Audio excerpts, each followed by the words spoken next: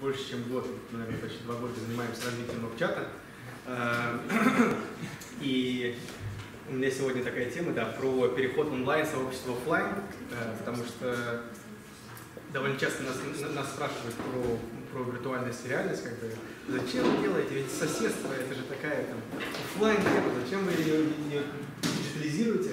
Вот, э, чтобы развернуто ответить на этот вопрос, расскажу тогда, как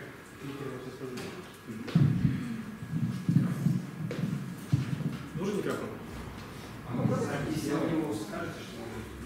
Нужен ли микрофон или... Мы делаем запись, чтобы лучше... Хорошо. Угу. Все начиналось с идеи, и было понятно, что идея классная, она летает в воздухе. Все хотят общаться с соседями, говорят, что это очень полезно, ознакомиться в лифте это неловко. А вот если бы они были у меня в приложении, вот я бы этим обязательно пользовался. Вот, то есть, когда мы это обсуждали с, с кем-то, с потенциальными нашими пользователями, они все до единого говорили, это замечательно, это прекрасно, это просто очень круто.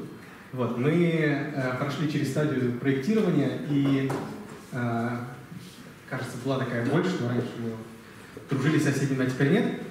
И это превратилось в э, приложение, которое вы видите на экране к моменту запуска в пилот. Там было три функции. Это общение с соседями, это э, обмен вещами обмен услугами. Вот, соответственно, можно было вот посмотреть на всех своих соседей, которые э, живут в твоем доме или поблизости. И чтобы протестировать эту гипотезу, мы гипотезу того, что соседям действительно нравится общаться друг с другом, действительно будет заходить много час, чтобы найти своих соседей, мы решили пилотироваться в Чертаново. Мы, на самом деле, пилотировались в нескольких локациях, но Чертаново был для нас такой легкой точкой входа. Мой коллега Влад Кренин, основатель этого приложения, он живет в Северного Чертанова, и когда идет месседж, что я основатель этого приложения, давайте мы теперь познакомимся, это очень такая хорошая коммуникация, легкая точка входа. Я ну, чуть не познакомился. М? Я чуть не познакомился. Чуть не познакомился? Отвлекся на что Чуть-чуть не дожали. А, соответственно, мы начали с Чертанова и повлекали жителей, у нас были плакаты, у нас были какие-то активности на улицах, мы, в общем, ловили людей, идущих от метро и так далее. В общем, так или иначе рассказывали про свое приложение.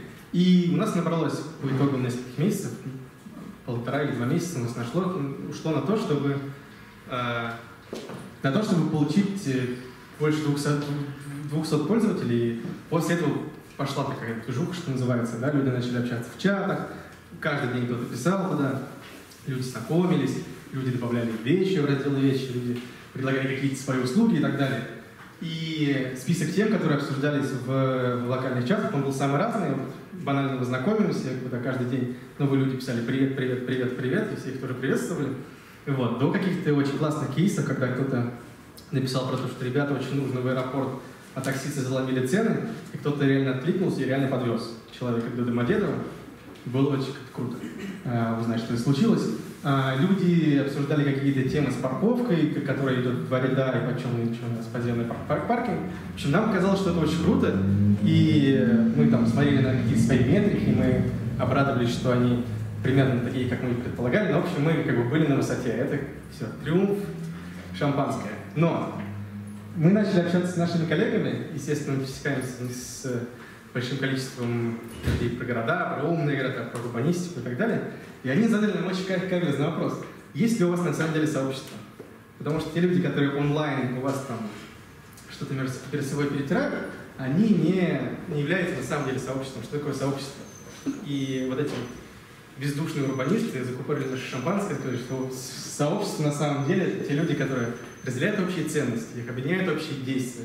Они только через действия, через совместные какие-то активности могут э, чувствовать территорию, на которой они живут, своей. Потому что если вы, они вышли и высадили цветы на клумбу, они чувствуют эту территорию, теперь принадлежащую именно им, вот этому сообществу.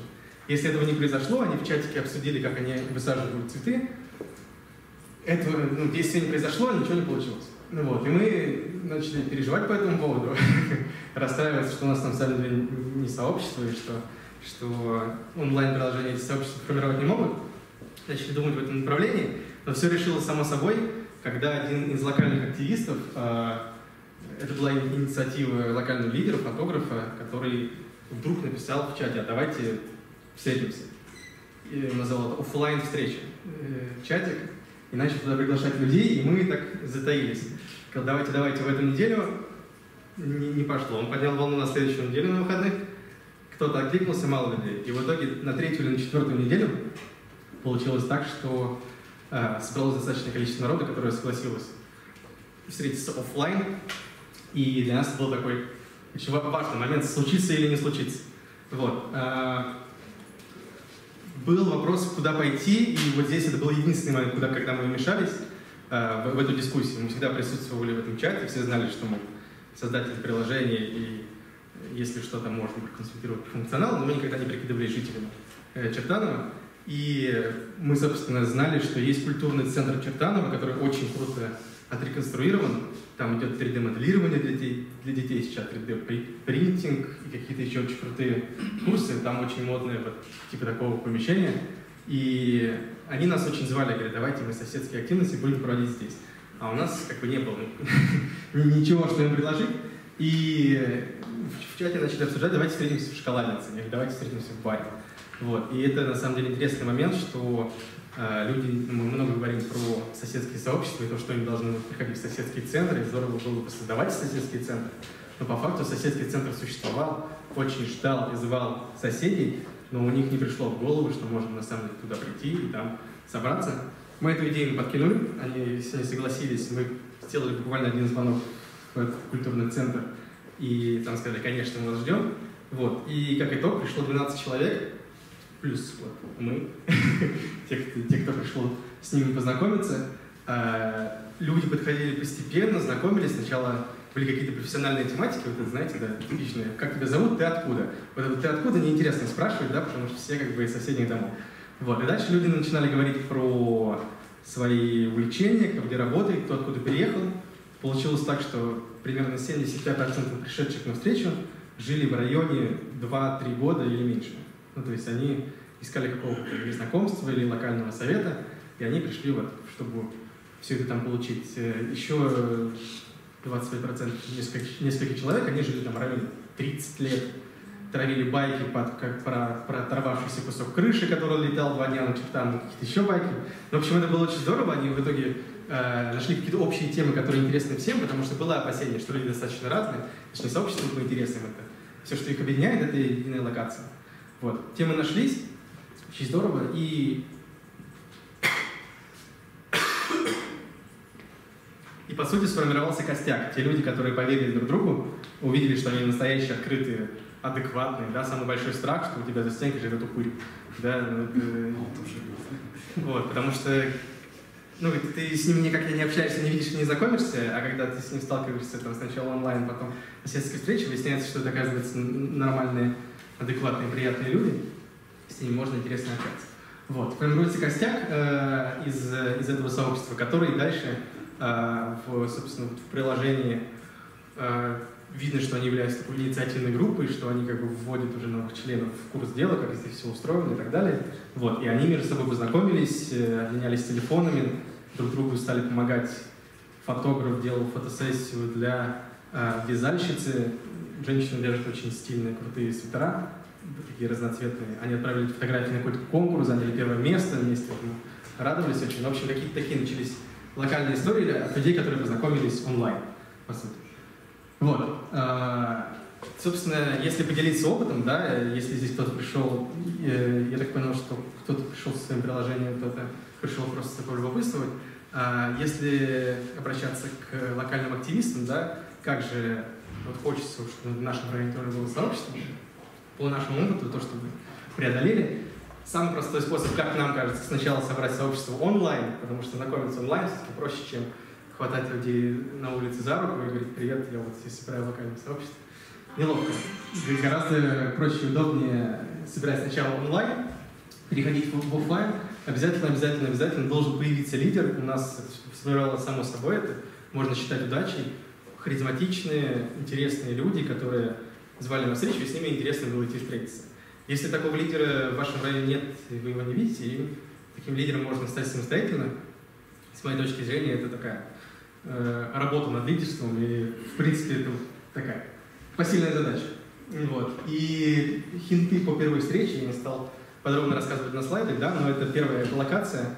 Э, мы выбрали бесплатную, но очень приятную локацию при этом. Если бы это была кофемания, да, например, с каким-то дорогим кофе, возможно, кому-то показалось, что это ему в карман, но если бы мы пошли пить пиво, есть сказал, я не пью пиво, да, это как-то рассеивает на нулевом этапе сообщество, которое так еще не собралось. Вот, поэтому есть смысл выбрать какую-то очень нейтральную локацию, которая не требует денег, не требует каких-то э, специальных действий. Например, соседский центр, который отреставрирован как, как северным Чертаном, очень подходит. Я знаю, что в районах они появляются с, каждые полгода, кажется, э, отреставрированные. Вот. Э, темы, да, если, если, если лидер эту тему собирает, он в некоторой степени является модератором этой истории, не нужно, наверное, сразу там начинать про то, что ах, вот два ряда паркуются там или какие-то еще такие напряженные темы, или это, мамы, две мамы встретились, и они как бы сразу отсели свои вопросы обсуждать в сторону, потому что понимали, что как бы какая-то очень узкая тематика. Тот, кто организует встречу, наверное, должен подумать широкие темы, на которые интересно всем общаться. Вот. Э, и самое сложное, это в конце, я это узнал на самом деле э, в спортзале, тренер сказал, что, я думаю, что самое сложное в тренировке я не знаю, там, руки, ноги, что. Говорит, нет, самое сложное прийти в следующий раз. Вот. В общем, э, тут это точно такая же история с локальными сообществами, что если вы собрались однажды, очень важно, чтобы эта история там не, не, не протухла и не осталась в истории. Чертаново сообщество собиралось э, с периодичностью раз в месяц, кажется, что каждую неделю встречаться какой-то немножко перебор людей, недостаточно скучают друг по другу. Вот, а раз в месяц это какая-то такая понятная, понятный всем интервал. Вот. Э, собственно, мы приглашаем активистов на платформе собирать э, онлайн-сообщества, обязательно превращать их в офлайн, потому что урбанисты говорят, что только так правильно. Теперь мы, наверное, с ними согласны. Вот, будем ждать вас, и если есть прямо сейчас вопросы, будут рады ответить. Спасибо. Спасибо.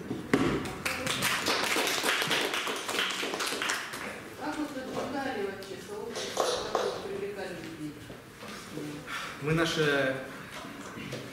Как мы привлекали людей в наше digital-приложение? В наше digital-приложение мы привлекали очень не digital, Э, мы на самом деле расклеивали э, листовки и плакаты в лифтах, иногда ругались, иногда разрешали.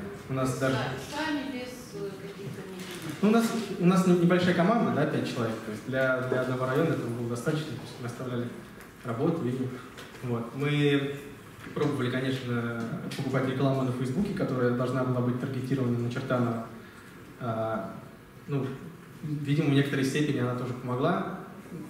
Не уверен, что прям все, все показывали были Чертанова, да, но это технологические издержки.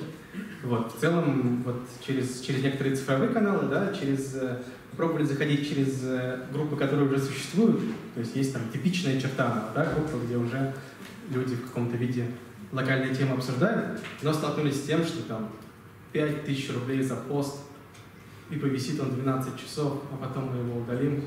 И такой подход, да, нам немножко непонятен, неприятен, вот мы не всегда, ну точно, так, таким, таким предложением не воспользовались.